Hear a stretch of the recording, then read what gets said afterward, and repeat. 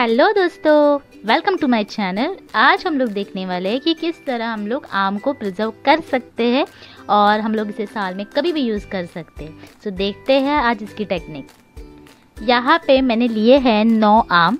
मेरे पास जितने बचे थे वो सारे के सारे पक गए वो भी एक साथ। तो अभी इसे मुझे करना था स्टोर और वैसे भी मेरे हस्बैंड आने वाले हैं नेक्स्ट मंथ में इंडिया में। सो तभी मुझे उनको मैंगो से अच्छे से जो डिशेस है उसको खिलानी है। सो इसके लिए मुझे स्टोर करने थे। सो ये मैंने अच्छे से वॉश करके ले लिए हैं। अभी हमें इसे लगाने हैं कट कट अकॉर्डिंगली आपको जैसे इजी होता है, आपको जैसे कंफर्टेबल है, उस तरह आप कट लगा सकते हो। बट बेसिकली मैं इस तरह इसके कट लगाती हूँ। नॉर्मली इस इसको आप ऊपर से थोड़ा कट करके भी आ, उसको एकदम प्रेस कर करके भी उसका हम लोग बोल सकते हैं पल्प निकाल सकते हैं। बट कभी कभी ऐसे हो जाता है कि कुछ आम ख़राब रहते हैं उसके वजह से जो आ, अगर हम लोग उसको कट करके अच्छे से देख के अगर उसके पीसेस हम लोग निकालेंगे तो अच्छा होगा स्टोरेज के लिए भी। सो ये चांसेस ख़राब होने के आ, कम हो जाते हैं। सो इस तरह मैं उसके कट लगा रही हूँ नाइफ से। और वर्टिकल एंड हॉरिजॉन्टल कट लगाने की वजह से इजीली ये जो पीसेस है, वो बाहर भी आते हैं, इस तरह। आप थोड़ा सा उसको इस तरह फोल्ड कर लेना, ये इजीली पीसेस बाहर पड़ जाते हैं। सो अभी यही टेक्निक से मैं सारे आम के जो पीसेस है, इस काइंड ऑफ़ निकाल लूँगी और जो गुटली रहती है आम की, उसको अगर आपको इस तरह कट करना डिफ़िकल्ट हो रहा है तो आप उसको हाथ से ही प्रेस करके उसका रस निकाल सकते हो तो वो भी हम लोग एक अलग जार में स्टोर करेंगे। यू you नो know, दोस्तों आम जो है ना ये हेल्थ के लिए एक बहुत बड़ा खजाना है बिकॉज़ इसमें protein carbs fats fibre sugar vitamin C copper vitamin B six vitamin A vitamin E vitamin K then potassium magnesium and blah blah blah ऐसे लिस्ट तो कंटिन्यू टू बी कंटिन्यू में ही है। तो ये सारे सोर्स आपको आम में uh, मिल जाएँगे। सो बेसिकली आम से इतने अच्छे न्यूट्रिशियस वैल्यू हमारे पेट में जाते हैं और ये हेल्दी भी है। सो so, अभी ये आम की गुटली उसका जितना इजीली uh, uh, ऊपर का जो कुछ भी पीसेस uh, से वो निकल रहे हैं तो हम लोग उसको निकाल देंगे और जो बचा है उसको हम लोग हाथ से ही उसका पल्प निकाल लेंगे। सो so, अभी मैं सारे ऐसे आम को इस तरह कट करके ले लेती हूँ।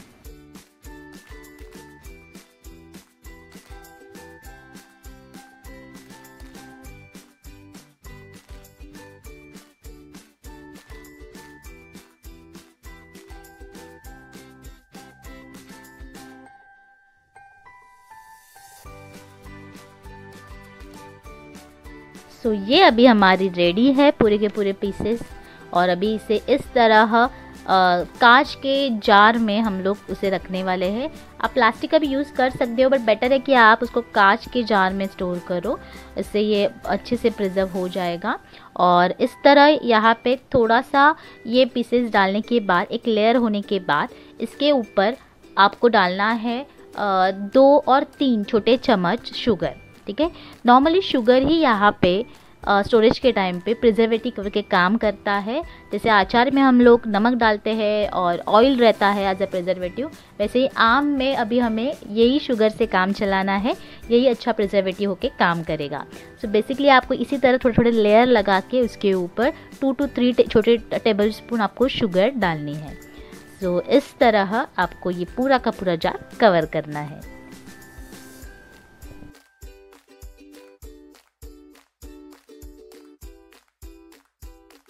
सो ये जार हमारा रेडी है और इसे हम लोग लिड से ढक लेंगे।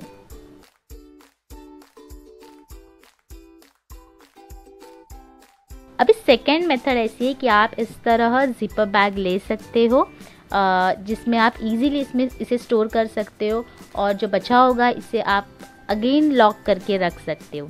सो सेम वे हमें यहाँ पे थोड़ा ये आम के पीसेस का लेयर डालने के बाद अगेन शुगर से थोड़ा इसे कवर करना है। सो थोड़े आम का लेयर देन इसके बाद थोड़ा शुगर, इस तरह हमें इसको भी पूरा भर देना है।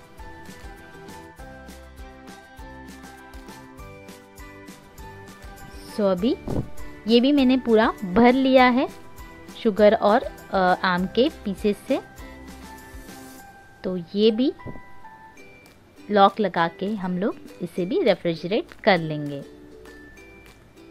आप नॉर्मल प्लास्टिक के बैग्स में भी इसको रख सकते हो बट आपको वो सील पैक करना पड़ेगा अच्छे से। अब ये जो गुटलियों से बचा हुआ और निकला हुआ जो भी आम का रस था पल्प था, उसे मैंने ये सेकेंड जार में भी स्टोर कर लिया है।